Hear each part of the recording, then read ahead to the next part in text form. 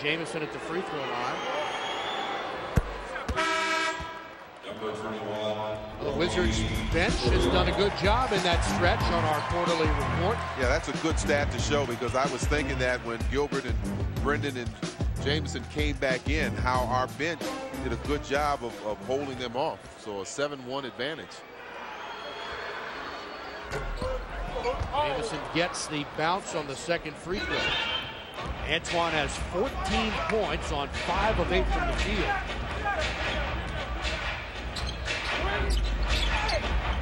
Also has 7 rebounds. Kobe, good defense by Daniels.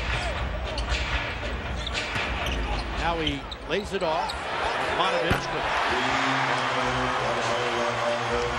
It looks like Radmanovic has brought his shooting touch tonight and uh, has dropped a couple of shots from the outside. Was that a three? Yep. Butler gets inside, draws contact. Caron will get a couple of free throws out of that. And they call the foul on Radmanovic. And a timeout on the floor. The Wizards are playing strong here in L.A. on their first of four out west. With 5.37 to go in the half, they lead at 39-36. Lakers are shooting 67% here in the second quarter. They've cut the Wizards lead from 8 to 3. Gilbert Arenas and Kobe Bryant are ones to watch. So far, they've both put on a show. Gilbert with 12, Kobe with 10. And speaking of ones to watch, a guy that always seems to be watchable is here again tonight, Jack Nicholson. In fact, before the game, he sits just three people away from us. I said, I haven't seen The Departed yet. He said, I'll get your money yet. yeah, you will, because it was a great movie. Familiar faces here in Los Angeles. Penny Marshall, big Laker fan. I thought she was a Clipper, Clipper fan, fan, too. Yeah, well, she's a basketball fan, actually. Anthony Kiedis in the crowd tonight.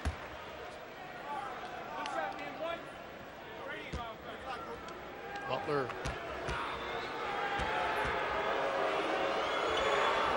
missed the first and made the second. Iran 10th in the league in free throw shooting. Wizards by four, and Butler nearly had the steal. The Wizards pick it up defensively. Parker lost the ball, and it's a kick on White, which are the Lakers, and it's Wizards ball. And that all started with the aggressive defensive attack by Caron Butler. He disrupted their half court, kicked the ball into the back, uh, into the backcourt, and really got them uh, scrambling offensively. Wizards are seventh in the league in steals per game. Gilbert is second, and Butler is seventh. Yeah, Gilbert with nine steals in the last two games. Oh. Again, Butler draws contact. Doesn't mind it though. Nope.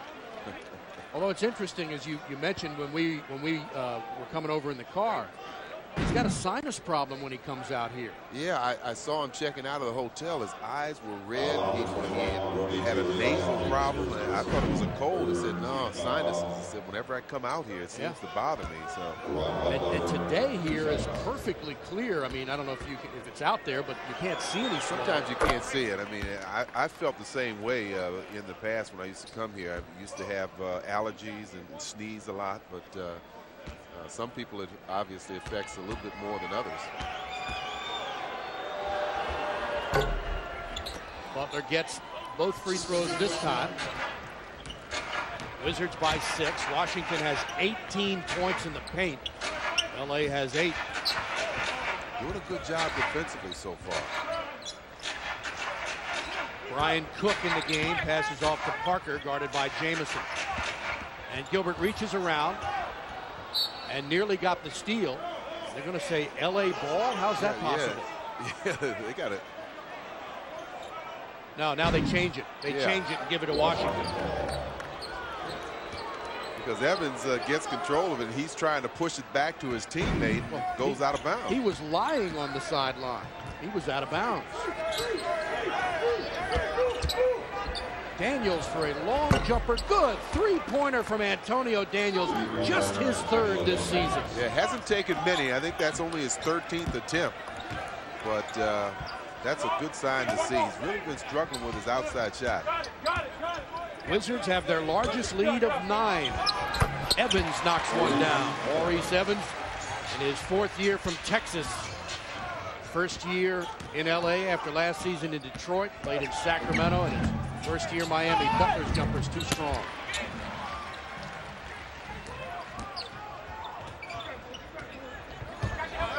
Smush around Jamison.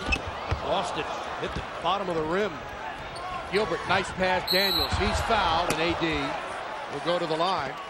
Well, came very close to taking an extra step, but that was such a difficult pass. He had to reach back behind him to receive the pass and then continue with his momentum towards the basket. And then he got nailed by Turiaf that uh, got him pretty good. But uh, much like Caron Butler, AD, one of those guys that gets knocked down and gets right back up. Mm -hmm. In fact, you, you almost get the feeling that he relishes the contact he when he goes to the yeah. there, he just received the pass. You can see him kind of lean into his defensive player, mm -hmm. make sure he gets the contact. He's been very solid from the line. 25th in the NBA in free throw shooting. Against Miami, Friday had five points, a couple of rebounds, three assists, and a block in almost 11 minutes off the bench. Wizards again by nine. Cook on the turnaround, too strong. Nice rebound by Gilbert. Get some help from those guards in the rebound. And Arenas is fouled by Smush Parker and then pushed aside. And they got him on a technical foul. It's on Brian Cook. You can believe after what we saw last night, officials going to be very quick to to keep an eye on any type of uh, unnecessary pushing or shoving. I'm sure many of our viewers, Phil, saw that incident in New York. What were your thoughts on it? Well, I, I thought it was uh, an ugly scene. And uh, just because the fans weren't involved, I still thought it was an ugly, ugly scene. And, and, and tempers just continued to get out of hand. And obviously, Carmelo's going to be in some serious trouble. I thought the, the, the security folks in New York did a nice job in keeping it on the floor and keeping it out of the first row.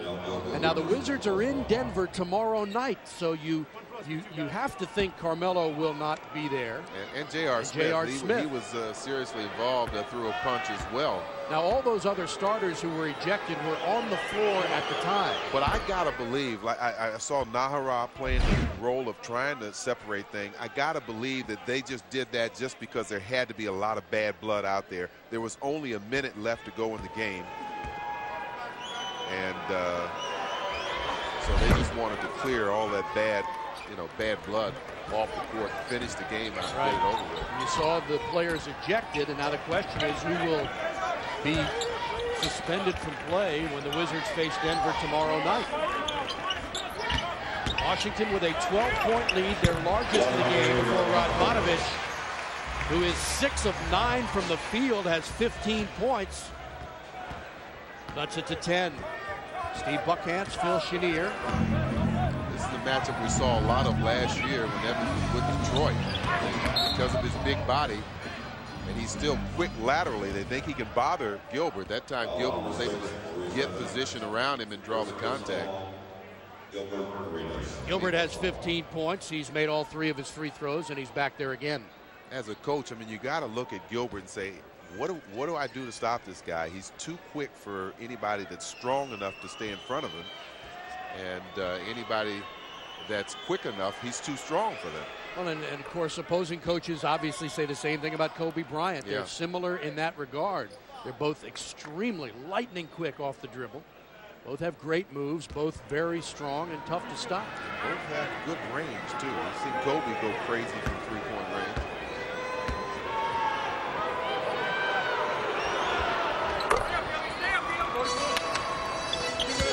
Washington by 12. They're enjoying a 13 to 4 run. Wheeler knocks it out of bounds. And there's a timeout on the floor. So 2.55 remain in a first half that's been mostly all Washington. They produce leading the Lakers by 12.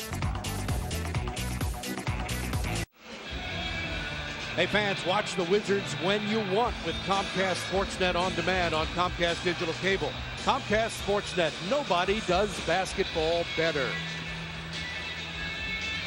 Strong performance from the big three. Arenas has 17. Jamison has 14 on 5 of 8 shooting. Yeah, he's getting the shots in his comfort zone there. You can see him spot up for the three. Gilbert misses, but he's right there to snatch that missed shot and put the get the quick putback. See his numbers. Anytime Arenas has the last five Washington points, all at the free throw line. Speaking of stars, Britney Spears is uh, at the game tonight, leaving for halftime early. She's just Gotta get started. just disgusted with this Lakers start here, Phil. They're down by 12. Kwame Brown back in the lineup with Walton. Here's Kobe, guarded by Butler. Help from Haywood. Now they go to Walton. Inside around the screen. Haywood got up in the air and the contact was made. And the foul call. They filled. The Lakers have played 23 games this season. Just seven of them on the road, and one of those games was here. against the Clippers. Yeah. Yeah. You look at that foul called on Brendan Haywood, but you're right. Now they are getting ready to take their first extended road trip, the six-game road trip. Uh, one of those games, of, co- of course, would be in Miami on Christmas night. Right. Why do you think that discrepancy happened where they played 16 games at home and just seven on the road? I, you know, I find it hard to believe. Uh, we were going over that other stat that we saw from November 10th to December 10th. They had 13 home games, and, uh, and one of the road games they had was the game against the Clippers that we talked about. So you're talking about 14 games played right here. Haywood knocks it up into the air and misses. Of course, the Clippers played here today. They played the Houston Rockets at 12:30 this afternoon, and Houston won the game 108-103. Well, well, another interesting thing. What about Houston? They've been here since Thursday. They played the Lakers here Friday. They're not leaving till Tuesday. Yeah. so this is going to be their second home. Walton backs in, gets some help from Arenas. Gilbert Smush takes the fake, goes up and misses. Two minutes. Nice play. Nice play by I Daniels. thought for sure that was out of bounds. 150 to go in the first half. Washington by 10. Arenas for Haywood inside. He got fouled with no call, and he made the shot. What a recovery. What a nice flip pass from Gilbert. Yeah, he's looking at Danny Crawford and saying, I can't get hit across the arm any more than that. Kwame, good defense, missed it. Excellent defense by Haywood. Stood his ground, forced Kwame to shoot a fadeaway. Gilbert. Nice pass for Brendan inside. They swing it out to Jamison. Catches, shoots, and scores a three. Wizards by 15, their biggest lead. Fans deadly silent here at Staples Center. Parker around the Kwame screen. Jump into Haywood. Brendan the rebound. Haywood's fifth rebound, and here are the Wizards with one minute to play in the half. Yeah, this first half, they had some very solid defense. Oh! Score the field goal. Haywood will go to the line. What an impressive performance by the Wizards to end this half. But once again, they get the penetration. Now the flip pass over to Brendan. Radmanovic gets a piece of the ball, but also a piece of Brendan. And Brendan, as we've seen the last three or four games, showing some strength inside to, mm-hmm. even with contact, putting shots down. Even on his rebounds, you can see how he's stronger in gathering Yep. the ball and hanging on to it. This is two hands. I like that. Kobe's jumper good for three.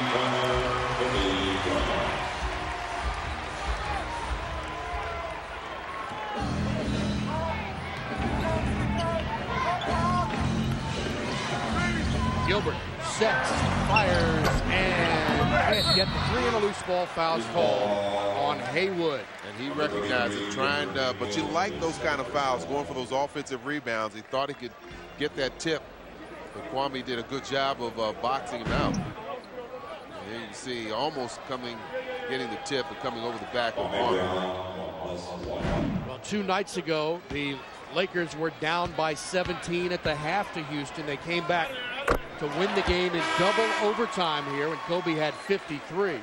A